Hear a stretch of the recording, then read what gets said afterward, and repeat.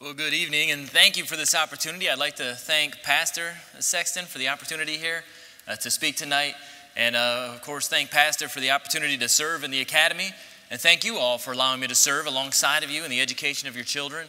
And it's been overwhelming, uh, the, the show of support, overwhelming how many people have uh, come to me and said, I'm praying for you, I'm praying for the academy. Let me tell you, I can tell uh, people are praying. I can tell this is a praying church. Uh, many times I visit hospitals and I'll, I'll, sit with people in the hospital, and they, one thing they say about the Temple Baptist Church is it is a praying church. And what a difference it makes in times of need. And, and I see people in the hospital and pray with them, and they, they, they say, and they've always told me, I can tell uh, people are praying for me. And I can tell you, with the beginning of this school year and everything that's happening and, and the show of support, I can tell people are praying for me, praying for my family, praying for the Temple Baptist Academy. Again, it's such a wonderful opportunity, and we are so thankful for it. I would like to thank the, the, the principals that are serving with us. They're doing a wonderful job. Uh, Ms. Boer serving as the principal of the middle school. Uh, Mrs. Yates is the, the principal of the elementary school. Uh, Mrs. Robertson is our homeschool coordinator. It's just been a wonderful team. Our new office staff, the office administrator, Mrs. Evans, Mrs. Manning, in there in the office staff, and all the teachers, the faculty, the staff. It's just been a wonderful spirit, a wonderful time. The students, of course, uh, have been wonderful as well, and then the parents, uh, just the opportunity that we have. Again, it's like I say, it's, a, it's an overwhelming opportunity an overwhelming thing. We have started our first uh, couple of weeks behind us now, our first uh, seven days in the books. Uh, we did uh, get our dual enrollment started this past week. That was very exciting to see our seniors. We have 12, 12 seniors enrolled uh, in the dual enrollment program this year. At least those 12 seniors will graduate with six college credits. We have several others also. We have four in English, three in calculus, one in comparative world religions, one in auto diesel. As a matter of fact, we have one senior this year that'll graduate, had the opportunity to graduate with 16 college credits to his name. That's an entire semester of college under his belt. And uh, we're so excited about that, so grateful for that opportunity to partner with the, the Crown College here. And uh, it's an amazing thing, an amazing thing to see the Lord work in the lives of these young people and, and just do great and wonderful things. Well, I'd like to ask you to take the Word of God with me and turn to the book of Revelation tonight. Uh, the revelation of Jesus Christ chapter number 6. We'll begin reading in verse number 12, Revelation of Jesus Christ, chapter number 6, verse number 12. You, you cannot turn on the television today uh, or this weekend or this past week without hearing something about the solar eclipse and what's going on. So I'd like to turn to the book of Revelation and begin reading it here in verse number 12. And I, I want to make this statement before we jump into this. What we're reading tonight has nothing to do with tomorrow. Now, the events described in this passage are not describing the events that will happen tomorrow, all right? So, everybody, please rest assured the end of the earth is not coming tomorrow with the solar eclipse. However, I do believe when God gives us these natural phenomena, it's a wonderful chance that we can take and look at God's word and look to the future events and look to these things that God has for us. And as you think about the eclipse tomorrow, maybe you'll think about this passage and, and the challenge that I'll bring to you tonight. And there's one question I want to ask tonight, and it's brought to us from God's word, and I want to just examine that question. But let's begin reading here now in verse number 12. It says, And I beheld. When he had opened the sixth seal, and lo, there was a great earthquake, and the sun became black as sackcloth of hair, and the moon became as blood, and the stars of heaven fell unto the earth, even as a fig tree casteth her untimely figs when she is shaken of a mighty wind. And the heaven departed as a scroll when it is rolled together, and every mountain and island removed out of their places. And the kings of the earth, and the great men, and the rich men, and the chief captains, and the mighty men, and every bondman, and every free man hid themselves in the dens and in the rocks of the mountains, and said to the mountains and rocks, Fall on us and hide us from the face of him that sitteth on the throne and from the wrath of the Lamb. For the great day of his wrath is come, and who shall be able to stand. And I want you, if you're in the habit of marking your Bible, look at the last part of that, uh, verse number 17. As these men hide themselves in the mountains and the rock, they ask this question Who shall be able to stand? Let's go to the Lord in prayer and then we'll jump right into this. Lord and Heavenly Father, we are thankful for this opportunity to gather in this place, Lord, in your presence. Uh, we just ask now you'd open up our hearts, open up our ears, our mind, Lord, to your word, uh, to the working of your Holy Spirit. Uh, Father, help me now uh, to move out of the way. And Father, just to let your spirit move through this message. Lord, that souls would be convicted. Father, if there's one here in this place tonight, even tonight, that is unsure of their salvation, Father, we just pray and ask that you would work in their hearts now, work in their lives. And Father, we just pray that they would come to know you tonight as their Savior. And Lord, we just pray that you'd help us to become a better people, better Christians, Lord, serving you. Help to change our lives tonight as we leave this place. In Jesus' precious and holy name we pray. Amen. And we come to this book of Revelation, uh, we realize this book of Revelation, the human penman is John the Beloved, uh, one of the closest disciples to Jesus Christ, a man uh, on Christ's inner circle, uh, a man that was so close to Jesus. He sat next to him at the, at the Lord's Supper and, and placed his head upon the breast of Jesus. He was that close. Uh, as a matter of fact, when Jesus was on the cross dying, he looked to John and, and looked to his uh, mother, his earthly mother Mary, and, and said, Behold thy mother. In other words, he says, John, I want you now to take care of my mom. I want you to take care of Mary like she was your own mother. That's what Jesus Christ thought of John. That's the close relationship they had. Of course, John, we know from history, had been they had tried to kill him, they had tried to martyr him. He survived, and they banished him to the Isle of Patmos. And it was on this island uh, that the Lord comes to him and reveals to him this vision and instructs him to write it and send it to seven churches in Asia Minor. Uh, the, uh, the vision itself is given, the, the, the theme of it is given in Revelation chapter number 1, verse number 19, when Jesus tells him, Write these things which thou hast seen, and the things which are, and the things which shall be hereafter. And of course, we know this book of Revelation deals a lot with end times, a lot with what's going to happen. Uh, during the end times of this world, what we call the tribulation period.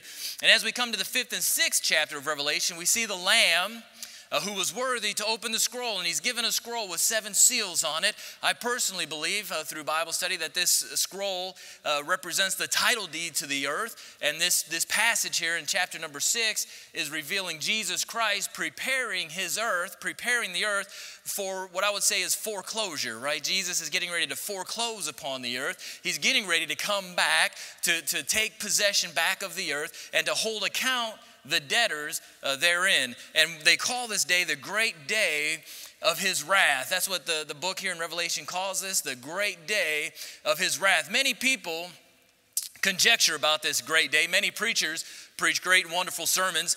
And I tell you, just about as many preachers preach sermons, there's just as many charlatans who try to capitalize on this topic. They try to sell books, they try to sell conspiracy theories. Uh, they've written volumes on these things. Uh, of all the material that man has written, though, regarding this great day, I do know two things for sure. There's two things I know for sure regarding this great day. Number one, it is coming. The Lord is coming, and I believe He's coming soon to claim his earth and to claim his own. Number two, uh, the other thing I know for sure is only the Lord knows when that day will be. Now, I was alive in 1988. I know not everybody in here was, and, uh, but I was alive in 1988. And I do remember a man writing a book, 88 Reasons the Lord Will Come Back in 88. And I can tell you this that there's no time or date that you can set. There's no magic formula you can pick out, no algorithm you can set or, or figure out the, the aligning of the stars or how many eclipses happen and whatever paths they cross. You're not going to predict when the Lord's coming back. Only God knows uh, when the Lord comes. As a matter of fact, Jesus Christ himself said in Matthew 24 36, Of that day and hour knoweth no man. So stop worrying yourself with trying to find the day. Stop worrying yourself with conspiracy theories and books and thoughts and ideas. And just know those two things. Number one, the day of the Lord is coming. It is sure. It will happen. And number two, only God knows when it'll happen. Now, we look at this day and we start thinking about this day and what God has done and, and told us about this day. There's a question that is asked at the end of this passage. It says, Who shall be able to stand? And it's this question I'd like to explore this evening. If you'll take your Bibles, turn to the book of Isaiah, chapter number 13. In the book of Isaiah, chapter number 13, we have another picture of this same day as Isaiah pens uh, in 13. We'll begin reading in Isaiah chapter number 13 in verse number one. I just want to read through this all the way down uh, through verse number 13. It says in verse number one of Isaiah 13, it says, The burden of Babylon which Isaiah the son of Amos did see. Lift ye up a banner upon the high mountain, exalt the voice unto them, shake the hand that they may go into the gates of the nobles. I have commanded my sanctified ones. I have also called my mighty ones for mine anger, even them that rejoice in my highness. The noise of a multitude in the mountains, like as of a great people, a tumultuous noise of the kingdoms of nations gathered together. The Lord of hosts mustereth the host of the battle. They come from a far country, from the end of heaven heaven, even the Lord, and the weapons of his indignation to destroy the whole land. Howl ye, for the day of the Lord is at hand. It shall come as a destruction from the Almighty. Therefore shall all hands be faint, and every man's heart shall melt. And they shall be afraid. Pangs and sorrow shall take hold of them, and they shall be in pain as a woman that travaileth. They shall be amazed one at another. Their faces shall be as flame. Behold, the day of the Lord cometh, cruel both with wrath and fierce anger, to lay the land desolate, and he shall destroy the sinners thereof out of it. For the stars of heaven and the constellations thereof shall not give their light. The sun shall be darkened in his going forth, and the moon shall not cause her light to shine. And I will punish the world for their evil and the wicked for their iniquity, and I will cause the arrogancy of the proud to cease, and will lay low the haughtiness of the terrible. I will make a man more precious than fine gold, even a man than the golden wedge of Ophir. Therefore, I will shake the heavens, and the earth shall remove out of her place in the wrath of the Lord of hosts, and in the day of his fierce anger. We have here in the book of Isaiah a description of the same day that John gives us in the book of Revelation. And Isaiah calls it the day of the Lord. He says, The day of the Lord cometh. The day of the Lord is at hand. And, and, beloved, this evening I want to let you know the day of the Lord is at hand. There is nothing that needs to happen, there is nothing that needs to be fulfilled. There is no prophecy left undone that would prevent the coming of the Lord today. At any moment, the trump shall sound. At any moment, uh, we shall be changed at his, his, his church and we will be raptured to meet him in the clouds of heaven. And I'm looking forward to that day. But I want to ask you today, in that day, in that day of the Lord, who shall be able to stand. Now, I believe here in the book of Isaiah, chapter number three, uh, he describes these people in three different ways. He gives us three different pictures, three different stories uh, that he tells us and describes these people that will be able to stand in the day of the Lord, the sanctified ones. He says, I have commanded my sanctified ones. I have also called my mighty ones for mine anger, and them that rejoice in my highness. And I want to look at this idea of my sanctified ones, my mighty ones, and them that rejoice in my high, highness. Who shall be able to stand? Those who are sanctified, those who have been prepared, those who have been set apart, set apart for service, set apart by God. Exodus chapter number 29, if you'll turn with me there in the book of Exodus, God gives us a picture of this sanctification as he talks to Moses and describes the sanctification process in the tabernacle and what the nation of Israel would go through for sanctification and the priests there in the tabernacle for the work of God. And in Exodus chapter number 29 and verse number 42, God gives Moses this commandment. He says, This shall be a continual burnt offering throughout your generations at the door of the tabernacle of the congregation before the Lord, where I will meet you to speak there unto thee. And there I will meet with the children of Israel, and the tabernacle shall be sanctified by my glory. And I will sanctify the tabernacle of the congregation and the altar. I will sanctify also both Aaron and his sons to minister to me in the priest's office. And I will dwell among the children of Israel and will be their God. And they shall know that I am the Lord their God that brought them forth out of the land of Egypt, that I may dwell among them. I am the Lord their God. I want you to understand what this work of sanctification is this work of separation, this work of preparation of God's people to Himself. I want you to understand number one, this work is done by the glory of God, and it's through the glory of God that this work is done. There's no work you can do, uh, there's no one thing that you can have, or you can say, or you can be. Uh, there's no amount of money you can pay, there's no way to purchase this, but it's through God's glory, and as God's glory comes down, uh, He brings His sanctification to the people. And you'll see there, it's not only through God's glory, but it's also through God's presence through God's presence. It talks about, I will dwell among the children of Israel, and I will dwell among them. I am the Lord their God, in verse number 45 and 46. About God's presence, it's about God's glory. But number three, it's also it's a work of preparation for service. In verse number 44, he says, I will sanctify the tabernacle of the congregation and the altar. I will sanctify also both Aaron and his sons. So, historically, as we see the beginning of this work of the tabernacle, God explains to Moses, You are going to build this place where I am going to come and dwell with you. And the tabernacle we know is a picture of the Lord Jesus Christ to come.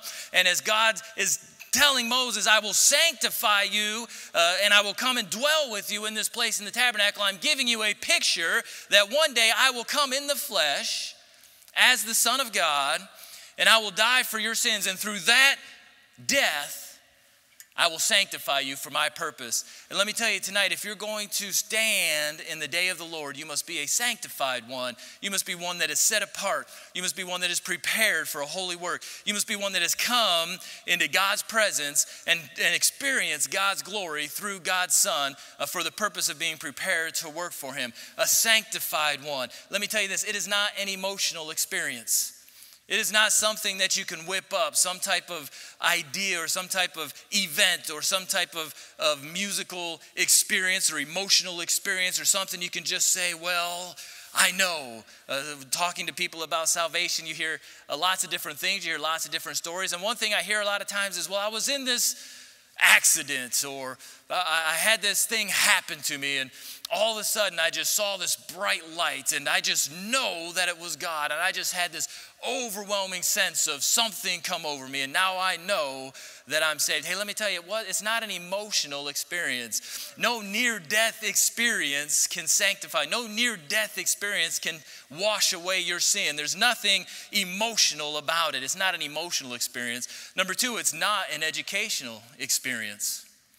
No amount of education, no number of degrees, there's no title you can put in front of your name, there's no amount of books you can read, no amount of knowledge you can have that will create this sanctifying work in your life. It's not an educational experience. You may go to school, you may graduate from the best schools, the greatest schools, you may study your whole life, but you will not receive the sanctification through an education. Number three, I want you to know it's not an environmental experience. There's no place you can go.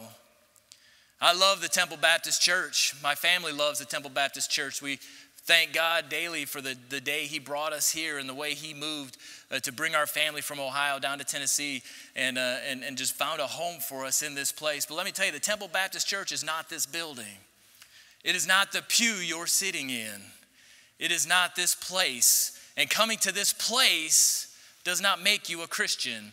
Coming to this place will not create God's sanctifying work in your life. Coming to this place will not separate you for God's purpose. It is not an environmental experience. There's no place you can separate yourself to. You cannot go out and trek off into the woods and live on, on the land and, and just pray and, and God will meet you there. That's not how it happens.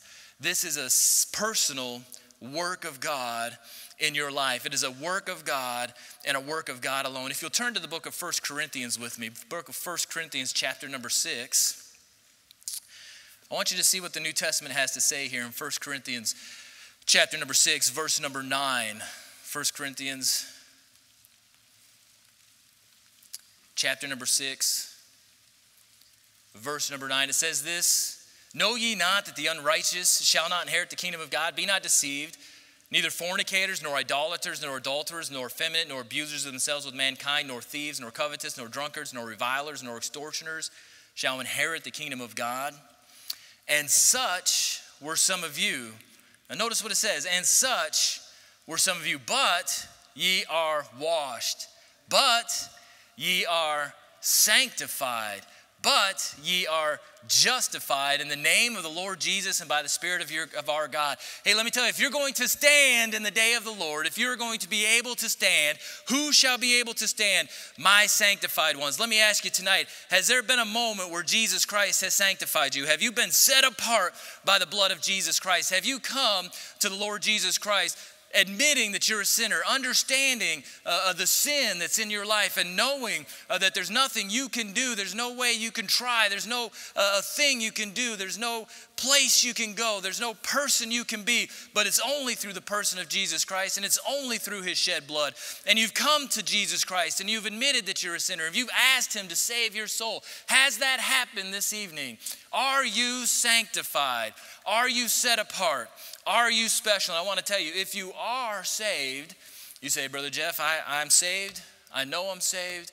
I've put my faith and trust in Jesus Christ. And let me tell you, you are a special one. You have been saved for a reason. You have been pulled out of the mud and the mire of this world. You have been cleaned by the blood of Jesus Christ. Hey, live like it. Live like it. Live like you have a purpose. Live like you have a reason. Live like God is doing something in your life. What, what a, a disappointment it is to me as a parent when I have a child and they come in and they're so dirty and, and, and gross and you know because kids get dirty and gross. That's what happens when you're a child. You're out playing. I think it's a great thing. I think kids should play. I think kids should get dirty. But then there comes that time it's bath time right? They got to go take a bath right? And they go get clean and, uh, and, and then it's such a disappointment and such a heartache because it's such a difficult thing to get them in the bath and as soon as they get out of the bath they go right back to the mud. They get dirty again and they get all, all, all dirtied up. It's a weak example of salvation, but what about that Christian that God has pulled you out of the world, pulled you out of the mire of sin, and, and, and created you for this special purpose, set you apart, prepared you for His service, and you just want to go right back to what He pulled you out of? You just want to go right back to that life of sin. You just want to go right back and do whatever you want to do. And, and it's awful. It's awful. Listen, if you're a Christian tonight, you're a sanctified one. Live like it. Live like you've been set apart. Live like you have a purpose. Sanctification is not a work, is, is only a work of God, a work of God and God alone. And, and it can only be done in the life of a believer. So if you're to answer the question, who shall be able to stand? You must ask yourself, Am I a sanctified one? Will I be able to stand? Am I a sanctified one? Have I come to the Lord Jesus Christ? And let me ask you, if you don't know Christ as your Savior, make tonight that night. There's no time to lose. The moment can come at any time where Christ ransoms his people, raptures his church out of this place, and will be gone. And, and the time can come at any moment. The sanctified ones. Number two, notice back in book of Isaiah, he says, My mighty ones. Isaiah talks about the sanctified ones, but he also calls them mighty ones. This is a name for warriors in the Bible. In Isaiah chapter number 13, verse number 3. I have commanded my sanctified ones, I have also called my mighty ones for mine anger. This group is described as God's warriors. And listen, this is what you need to understand is nothing within yourself that makes you worthy to be called God's warriors, to be called God's mighty ones, but it is only the work of God in your life, in your life. What, it, what does it take to be a mighty one? What does it take to be a warrior in God's army? What does it take to have that happen? Psalm chapter number 33, if you'll turn there with me, describes the mighty ones. Psalm chapter number 33. And I want to begin reading here in Psalm chapter number 33, verse number 13. Psalm 33 13 says this The Lord looketh from heaven, he beholdeth all the sons of men. From the place of his habitation, he looketh upon the inhabitants of the earth. He fashioneth their hearts alike, he considereth all their works. There is no king saved by the multitude of an host. A mighty man is not delivered by much strength, and horse is a vain thing for safety.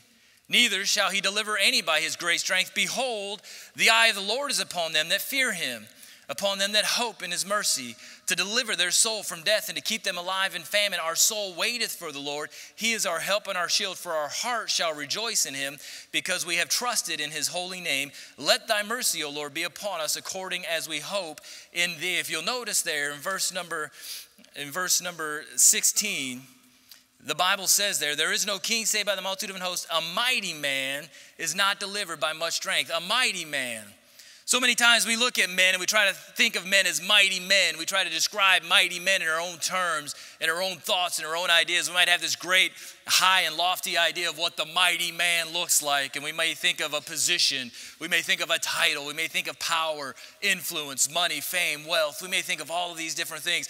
God doesn't look at those things. He says here in this verse, He says, A mighty man is not delivered by much strength. In other words, what makes a man mighty is not measured by how much he can do.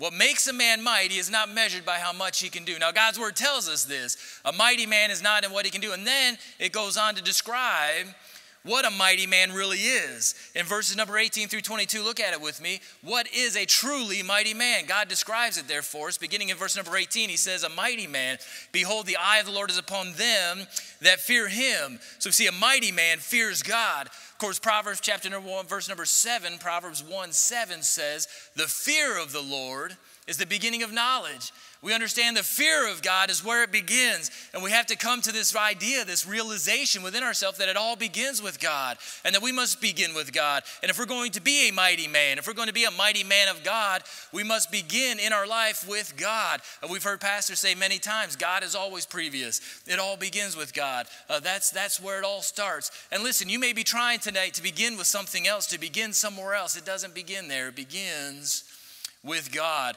Number two, he says, not only do they fear God, they hope in his mercy. Verse number 18. Uh, they, the, the eye of the Lord is upon them that fear him, upon them that hope in his mercy. Hope in his mercy. Psalm chapter number 118, uh, verses number 1 and 2. Psalm 118, verses number 1 and 2 says this Oh, give thanks unto the Lord, for he is good, because his mercy endureth forever. Let Israel now say that his mercy endureth forever. And we see a man that hopes in God's mercy, hopes in eternal, sees the world in its eternity, and takes the long view in life. As pastors always told us, we need to live with eternity's values in view, living, seeing the big picture, seeing our life is more than just right here. Sadly, most people, and most Christians included, live life right here. It's what's right in front of them, and that's all they can see is the next three seconds the next three seconds, the next three seconds. And we need to take a step back and we need to look at our life. We need to think way down the road. Something I try to encourage uh, the teenagers, the high schoolers that I deal with on a daily basis. I, I try to ask them listen, you need to take a look at your life and think many years down the road when am I at the end of my life? How will my life have affected those that have come into it? Picture yourself at the end of it all. And how will your life have affected those things? What will your life have stood for? One thing that's very important as we think of beginning with God and as we think of finishing strong, living with eternal values in view, we think of our worldview. I have the privilege to teach chemistry class this year uh, in the high school. Uh, it's something uh, my heart's close to, obviously, as a, as a pharmacist, a, a chemist, if you will, applied chemist is what pharmacy basically is. So I've really enjoyed it. Uh, I spent the first week, though, discussing worldview with our students, getting them to understand what that means, having the proper worldview. When we live our life, we live our life looking at the world through lenses. And we have to come to this understanding of what do we believe about the world, because that will shape what we think and feel about the world. And when we come to this, we must believe, we must understand that this world, there's so much more to it. This physical world, this matter that we see, is not the reality of our life. Reality is in eternity. Reality is in the things we don't see. And we need to live our life understanding that. We need to live our life understanding it begins with God and it ends with God. We need to live our life understanding that it's going to last much longer than the 80 or 90 years we may live. It'll last into eternity. Decisions we make now will last into eternity. Live with eternal values in view. Number three, look at what it says. Number three, there in, in Isaiah. I'm sorry, not in Isaiah. We're in Psalm 33 in Psalm 33, in verse number 19, it says, To deliver their soul from death, to keep them alive in famine. Verse number 20, Our soul waiteth for the Lord. Our soul waiteth. The mighty man waits on the Lord. Psalm 24, 7, 14 says, Wait on the Lord and be of good courage, right? Be of good courage. And this waiting on the Lord uh, creates this courage in our life, understanding and knowing that we don't have to fight in our own strength we don't have to charge in headlong in our own strength. We're not, not doing it on our own, but God is with us, and we can wait on God, and we can wait on the Lord, and we can fight in His might. And this gives us the courage then to do the impossible, like Brother Tim was talking about this morning. It gives us the courage to do things that nobody's ever done before and to attempt great things for God, expecting great things from God, and understanding that we have this courage. So we need to begin with God. We need to finish strong.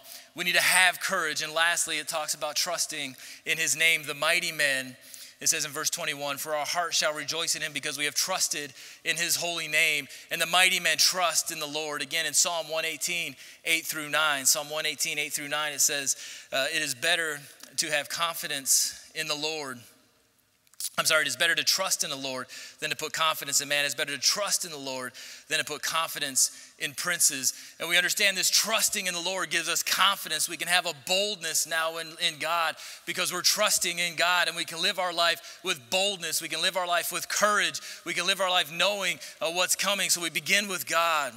We finish strong, we have courage, and we're bold. Listen, a truly mighty man is not measured by how much he can do, but by how much he allows the Lord to do through him.